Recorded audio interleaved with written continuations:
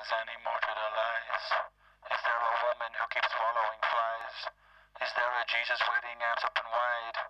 Too many stories and too many. Nobody listens anymore to the trees. All moving too fast, turning birds into bees.